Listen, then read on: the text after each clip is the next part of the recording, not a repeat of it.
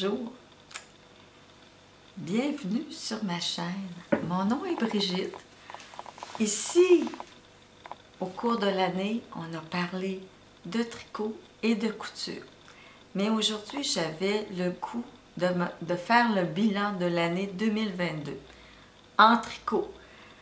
Un peu pour euh, me remettre à jour, voir qu'est-ce que j'ai tricoté et peut-être en même temps voir mes besoins pour l'an prochain.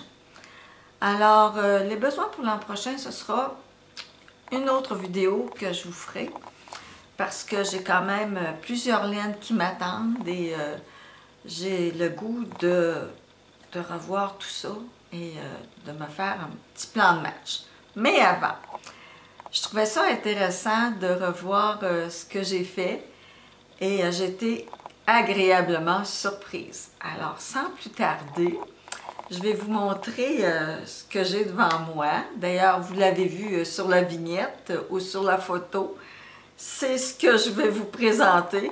Et en même temps, je vais essayer de vous le présenter porté, euh, probablement ici dans un encadré au fur et à mesure que je vais vous présenter les morceaux. Alors, ben, les morceaux, en tout cas les gros morceaux. Je ne vous en présenterai pas tout, tout, tout. Euh, mais euh, ce qui ça me semble intéressant à montrer. Alors, euh, sans plus tarder, je vais commencer par un des premiers morceaux que j'ai fait cette année. J'ai fait avec la laine Berocco Vintage. j'ai fait la tuque lavande et je l'ai vraiment beaucoup portée. Elle m'a été très utile et elle me sera encore très utile. Alors, c'est une tuque euh, qui, qui a commencé à être cotée par le haut, par le bas. Je ne vous donnerai pas à chaque morceau tous les petits indices parce que j'en ai déjà parlé dans chacun de, euh, mes épisodes. Alors, euh, c'est vraiment juste pour faire le bilan. Alors, je reprends tout ça. Alors, j'ai la tuque et moi, du temps qu'à porter la tuque, j'avais le goût de faire les mitaines.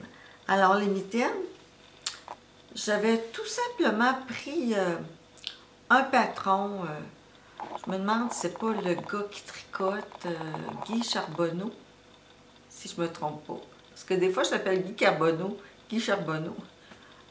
Je vous écrirai ici. Alors, les, je vous ai fait aussi euh, les mitaines. Alors, les mitaines euh, que j'ai tout simplement repris le point de lavande devant, devant. Et pour qu'elles soient plus chaudes, j'avais déjà une paire de petites mitaines que j'avais fait l'an dernier avec euh, fil de chaussettes. Je crois que c'était le fil de... voyons pas Ravelry, euh, Fibrelia. Alors, Fibrelia, j'avais tout simplement fait une petite mitaine qui me sont très utiles parce que je les porte dans plusieurs paires de mitaines. Alors, euh, je dis mitaine. Nous, ici au Québec, on appelle mitaine. Vous, en Europe, en France, ce sont des moufles. Alors, dans mes moufles, je mets, comme, je mets ma petite mitaine et c'est beaucoup plus chaud. Alors, voici pour le premier petit ensemble.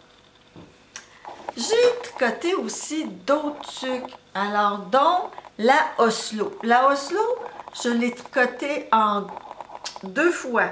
La première fois, là, mon mari est parti avec ce matin pour travailler. Alors, euh, je l'avais tricoté en noir avec un fil, si je me souviens bien, c'est un fil, euh, la laine, euh, la laine pure laine de Charlevoix. Alors, c'est la pure laine de Charlevoix que j'avais euh, j'avais ajouté à ça un petit mohair, tout simplement, c'est Kid Silk noir. Et euh, je crois qu'il aime beaucoup sa tuque parce que, vous voyez, ce matin, j'ai pas pu l'avoir pour euh, vous le montrer. Alors, je l'ai fait aussi avec la Beau Fibre. Alors, la Beau Fibre avec une fibre de socket et une fibre de mohair. Tous les deux de beaux fibres. Je l'aime beaucoup, vraiment.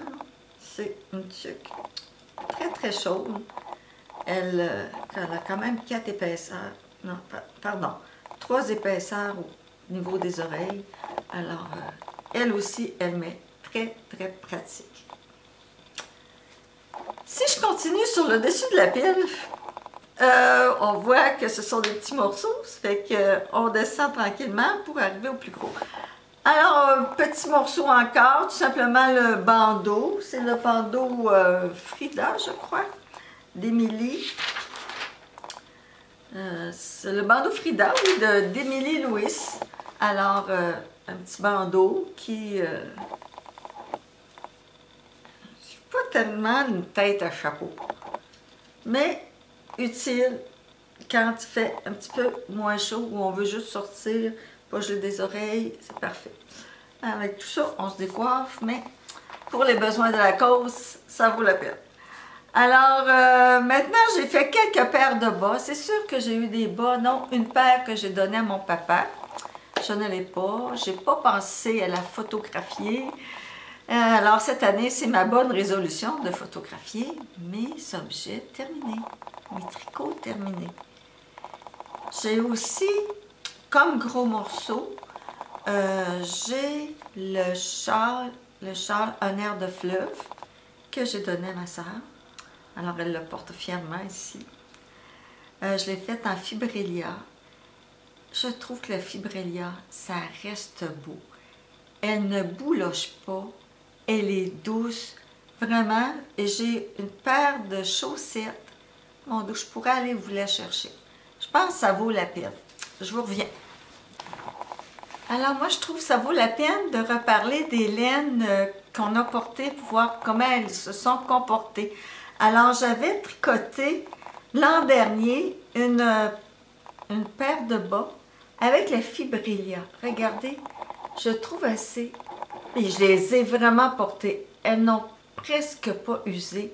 La seule chose que la laine a fait, c'est qu'elle est devenue plus ronde, elle a pris sa place, alors ça devient des bas chauds sans être trop épais. Alors, je crois que c'est probablement ma paire de bas préférée. Alors, l'air de fleuve, un air de fleuve a été tricoté avec euh, cette même qualité de laine. Et je crois que c'est ça. Euh, tant qu'à faire un beau morceau, mais le morceau va rester beau longtemps. Et en plus, euh, un châle s'use beaucoup moins vite que des chaussettes. Parlant chaussettes, durant l'été, j'ai fait des petites chaussettes à base de bambou. Alors, j'avais pris le patron de Lisandre Ourdin. Son patron, c'est... Je vais vous dire ça. J'ai quand même pris des notes parce que... Hmm, ah oui, les chaussettes stickers de Lisandre Ourdin avec la laine Prolana Bamboo Socks.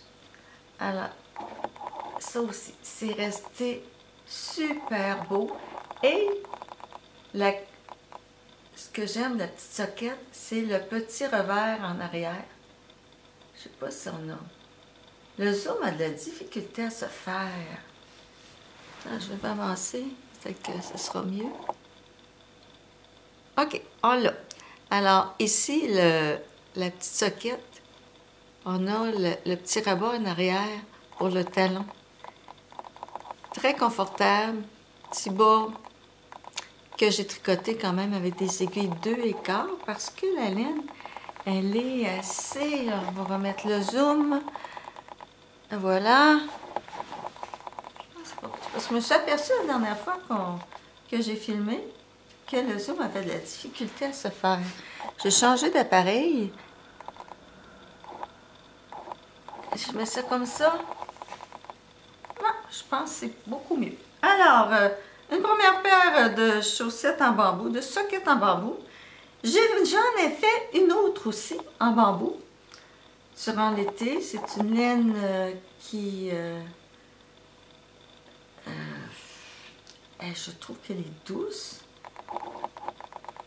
C'est une euh, laine aussi qui est assez mince. J'ai tricoté avec des deux écarts. Aussi, euh, si je vous parle c'est la Bamboo Universal Yarns Bamboo Pop Socks. Alors, euh, elle fait des rayures. Alors, ce qui est bien, c'est que j'ai comme... Il y a des laines qu'on a de la difficulté à reprendre. Je pense à Zoverball. C'est une laine à, rayures, mais on n'est pas capable de reprendre et refaire le même bas, le bas identique. Ceux-là, ça n'a pas été de problème. Les deux bas sont vraiment identiques.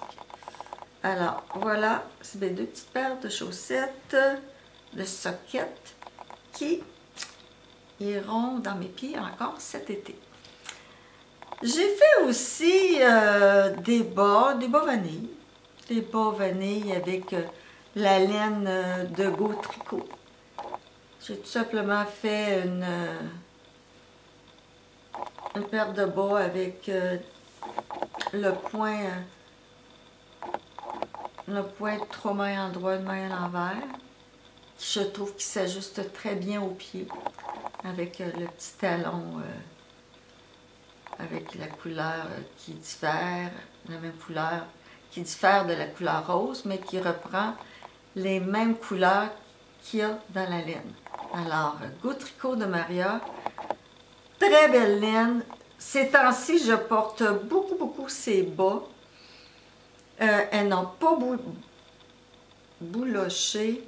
Elle me fait penser à la Fibrelia. Alors, euh, très belle qualité. Alors, merci... Euh, je me souviens plus de ton nom, de ton prénom, mais euh, euh, cette jeune femme demeure en Gaspésie, dans la baie des Chaleurs, c'est-à-dire plus particulièrement à Maria. Alors, si jamais vous passez un jour à Maria, vous faites un voyage en Gaspésie, prenez le temps d'arrêter à sa boutique.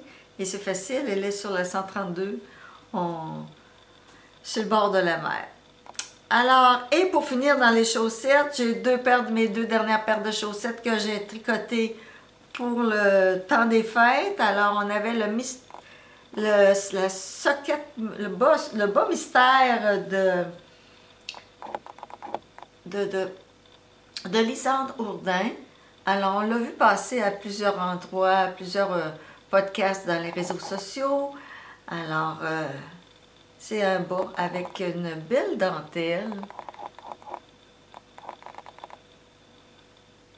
Et que moi, j'avais tout simplement ajouté deux couleurs euh, complémentaires sur le bout du pied et le haut pour euh, justement qu'elle euh, pour avoir assez de laine parce qu'il m'aurait manqué de la laine.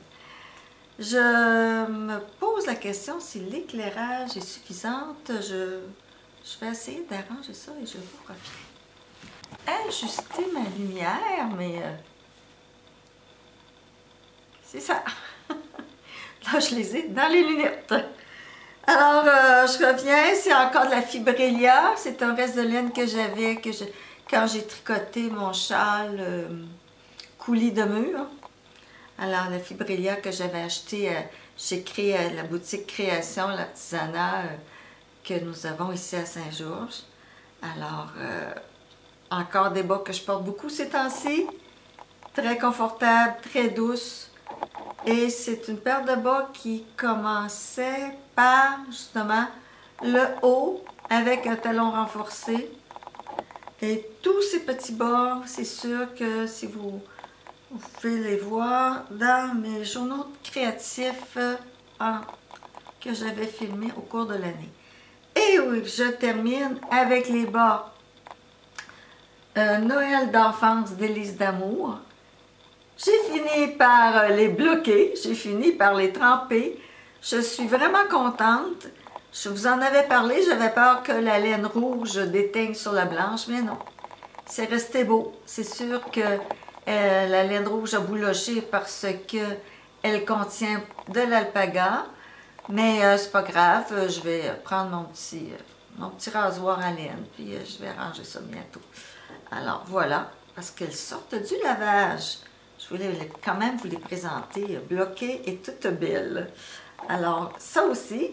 Celle-ci, c'est un bas qui se commence par la pointe du pied avec un talon, un talon en raccourci c'est le talon, c'est la recette d'Élise. Alors, quand on achète son patron, elle nous l'explique très bien.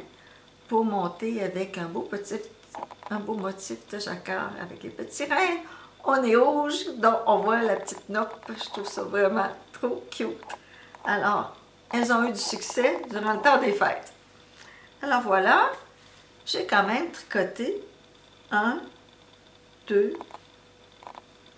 trois, quatre, cinq, six, sept paires de bas. J'étais, me suis moi-même impressionnée.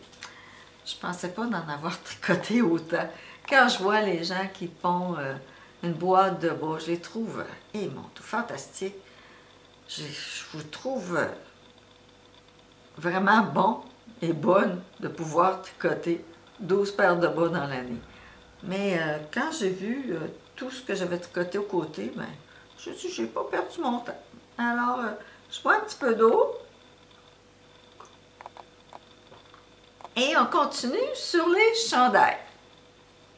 J'ai envie de vous parler du chandail. Un des premiers que j'ai fait euh, cette année.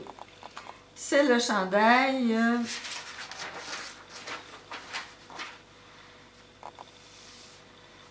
cardigan L, L d'Isabelle Crémard. C'est une laine euh, que assez épaisse. Je me semble que j'avais tricoté ça avec euh, des des demi. Puis là, je, crois que c'est une worsted presque 40. Entre une bonne worsted. Et j'ai beaucoup aimé, je l'aime beaucoup. La laine, elle est euh, rustique, douce. C'est une laine que j'avais achetée à la boutique au tricot à, Rivière-du-Loup, à la boutique au tricot. Et la laine, c'était de la, c'est de la créarlaine, la Kamouraska. Alors, le petit détail de ce gilet, je, trouve ça magnifique.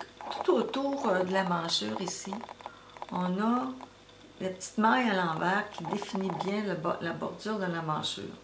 On a le collet qui est replié, puis le collet est en côte 2-2, mais avec la petite, la petite torsade, je ne sais pas si on voit bien, mais à cause de la lumière, je trouve que c'est quand même foncé, mais ici, puis la petite torsade qui est reprise au collet, qui fait tout le devant du gilet, juste au côté de la patte de boutonnage. On a aussi la petite pochette qui est délimitée aussi euh, de chaque côté par une torsade. Alors, euh, c'est un gilet que je porte avec grand plaisir et euh, il n'y aura pas de temps, ça va être un intemporel.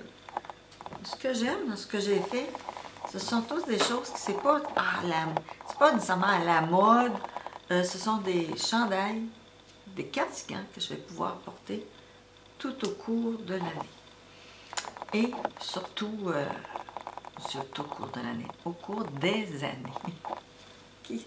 Alors ici, c'est bon, mon beau mari chaîne que j'ai tricoté en laine lima de drops. Alors ce chandail, il reste beau, il a une belle tenue, c'est ce que j'aime de cette laine-là. Et en plus, euh, c'est une 100% laine, et ça revient quand même à un prix abordable. Alors, euh, j'ai mis quand même des très beaux boutons que j'avais pris à la boutique, euh, au kiosque, parce que c'était pas la boutique, au kiosque de, de Maille en bas, quand je suis allée au, Festival de la Petite Laine. Alors, c'est un chandail, c'est un gilet, un cardigan, je vais finir par le dire, un cardigan avec une manche raglan et la manche, euh, il y a des diminutions régulières qui fait que c'est une, euh, une manche qui colle au bras et qui se porte très bien sous un manteau. Alors, mon Maritien, c'est sûrement un autre modèle que je vais refaire. D'ailleurs, euh, j'ai la ligne qui m'attend. Alors voilà pour certains cardigans. Je m'en vais vers maintenant ma petite pile chandail euh, de t-shirt d'été. Alors, j'ai mon jumper. Mon, mon jumper ici. Qui a été tricoté en, je vous dis ça, c'est une laine, comme une petite laine bouclée que j'avais achetée euh, à la boutique Biscotte. Un chandail qui a été assez vite tricoté. Je me souviens, je l'ai mis là-dessus, puis ça avait été, c'était un tricot avec une petite manche montée, mais là, je vous baisse la tête, je regarde, mais je l'ai-tu écrit? Oui, ici. Alors, c'est le fil créatif Lazy King. Alors, euh, c'est un top and down. La laine, euh, la fibre, parce qu'il y, a du coton à l'intérieur. Euh, avec la petite manche montée. Facile à tricoter. Hein? Tricot débutant, là, c'est un beau tricot. Le prochain. Le lotus de Sarah Blo. Alors, le voici. C'est un de mes beaux morceaux, le lotus. Et le lotus a été tricoté euh, dans un cal, il fallait utiliser des fibres naturelles. Alors, à l'intérieur, des fibres d'été. Alors, à l'intérieur, on y retrouve du lin, du coton et du mérino. Alors, euh, c'est une fibre qui se comporte très, très bien. Euh, je vous dis la, la marque de la fibre, parce que je ne m'en souviens pas par cœur. Euh, c'est... Euh.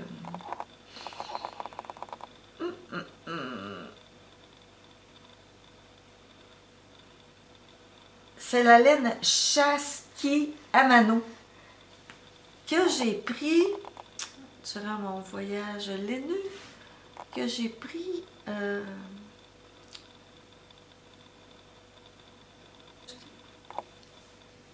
alors le motif de dentelle Il est vraiment très, très beau. Alors, on va porter, ça donne une meilleure... C'est aussi un gilet qui se tricote de haut en bas. Super, était super agréable à porter. Et comme je dis, c'est un des gilets que je vais, des chandails, que je vais porter tout au cours encore de, de l'été. Même c'est, moi je trouve, là, c'est un tout saison. Moi, ici, euh, dans ma maison, vous voyez, j'ai un petit, gilet manche courte. On chauffe au bois. Ça fait que la, température était... Il fait quand même pas froid chez nous. Alors, euh, ça, des gros gilets, euh, manches longues, j'ai plus de difficultés à porter. Il y a aussi le petit moment d'âge où je suis. Hein, on a un petit peu plus chaud. Alors ici, j'ai le Grey Silk Tea.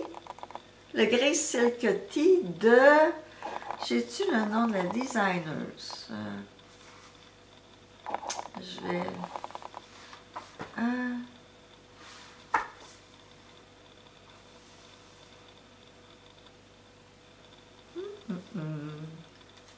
J'aurais dû écrire mes, mes gilets au fur et à mesure hein, que je voulais montrer?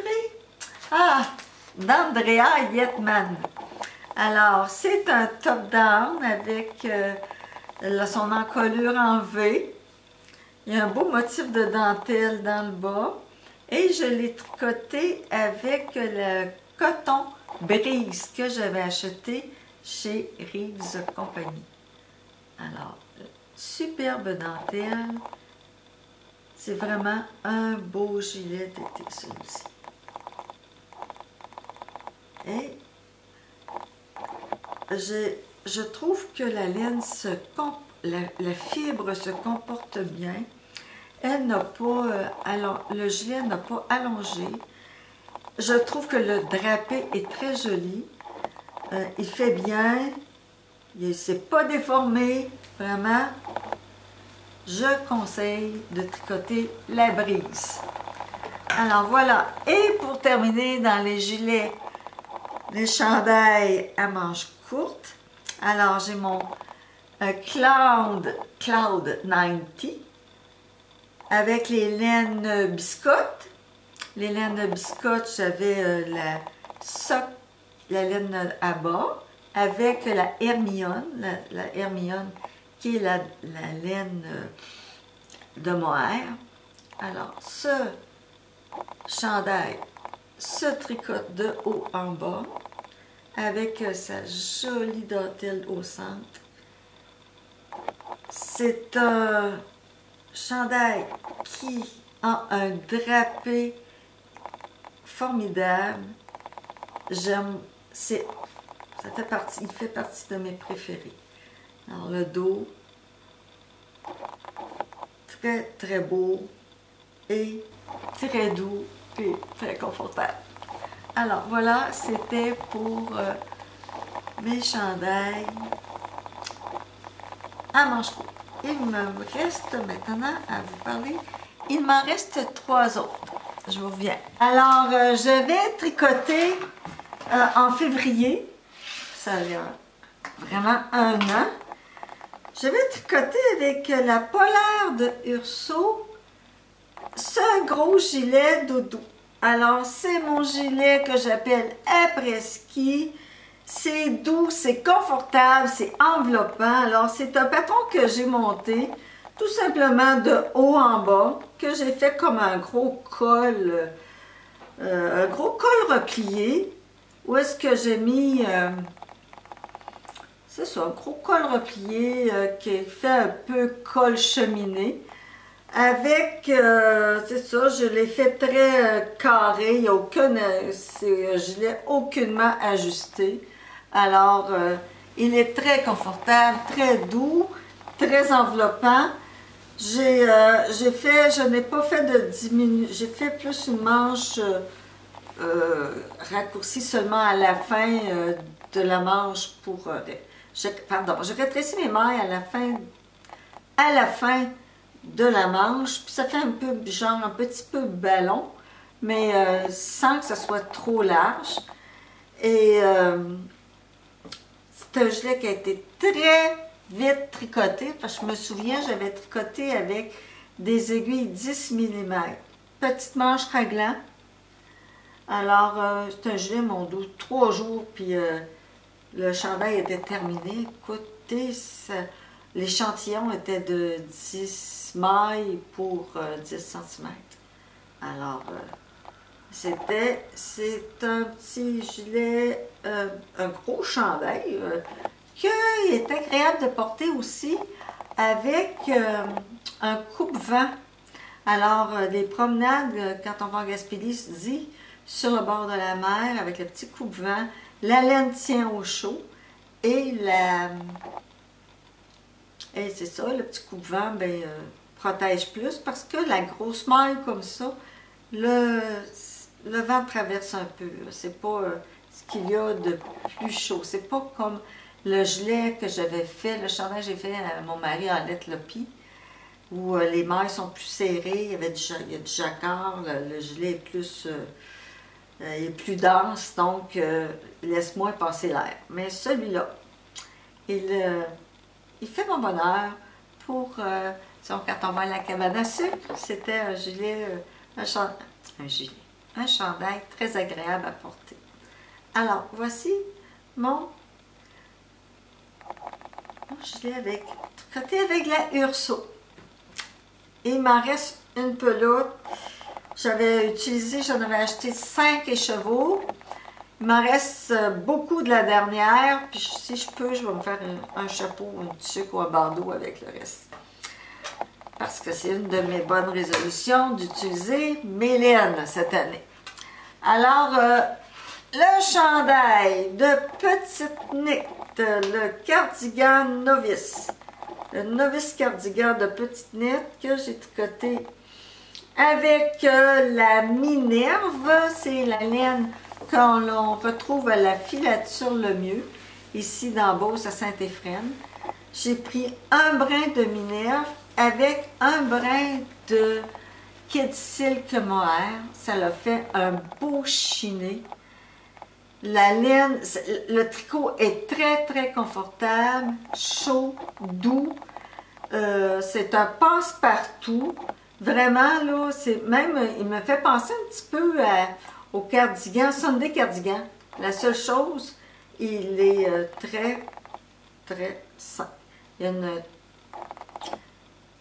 Il y a de l'air pas simple. Il, est plus... Euh, je trouve vraiment que ça passe partout. Je suis sûre qu'on va dire ça comme ça. Alors, euh, j'ai fait à ce chandail, j'avais ce cardigan, j'avais... Euh, j'ai appris à faire les la finition en montage, la finition des côtes en tubulaire. Alors, j'en ai fait partout. J'ai fait le bas des manches, j'ai fait le pas du chandail, puis j'avais fait aussi les pattes de boutonnage. Alors, euh, ça ici, disons que maintenant, les pattes de boutonnage, je les ferai euh, avec euh, simplement une, un, rabattage régulier qui se fait très bien, c'est très beau. Là, je trouvais que ça, ça donne une petite allure. C'est quand même pas laid, mais je trouve que c'est beaucoup de travail. Beaucoup de travail. Alors, ce chandail, ce patron, euh, c'est vraiment un patron débutant, facile à faire, on est très, très bien expliqué et euh, vraiment là, c'est un, un basique qui va durer des années. Alors voilà pour mon novice cardigan et je dis pas que j'en tricoterai pas un autre parce que j'ai d'autres minerves Là, c'est ça, il faut que je réfléchisse à toute la laine que j'ai, qu'est-ce que je vais faire avec ça. Alors, mon dernier morceau, et non le moindre, c'est le cardigan que j'ai tricoté à mon mari pour les fêtes. Alors, c'est un patron aussi que j'ai fait. Alors, c'est tout simplement un top-down. Il commence par le haut, descend, tricoté jusqu'en bas. En avant, j'ai fait un petit point texturé. Je trouve que c'est masculin, j'aime beaucoup, euh, j'aime beaucoup qu'est-ce que ça donne. Et le dos, je l'ai tout simplement tricoté en jersey. C'est de la cascardiane tricotée avec des aiguilles 4 mm. Le, le tissu que ça donne, ce n'est pas très... C'est pas comme euh, la lima de Drops. ça donne le tissu est plus drapé. Il y a moins de tenue, mais fait très bien. On met le, le, cardigan par de, si vous préférez le slip-over, par-dessus une, chemise. Euh, a quand même un très belle allure. Alors voilà, c'était mon dernier morceau de l'année. Alors, je me suis surprise par moi-même. Euh, euh, avec tout ce que j'ai tricoté, je, je, ne pensais pas. Je trouve que c'est un bel exercice. C'est surtout un exercice que j'ai aimé écouter. J'ai écouté d'autres podcasteuses le faire, puisque ça m'a donné l'idée des textures de laine. Qu'est-ce que ça donne avec tel modèle? Je trouvais ça vraiment intéressant.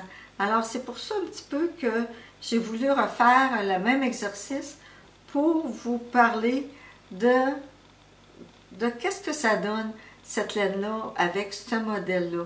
Alors, euh, c'est un exercice probablement que je vais refaire cette, cette année. Alors, euh, cette fois-ci, je prends des photos de chacun de mes morceaux parce qu'il y a un morceau aussi que je ne vous ai pas montré.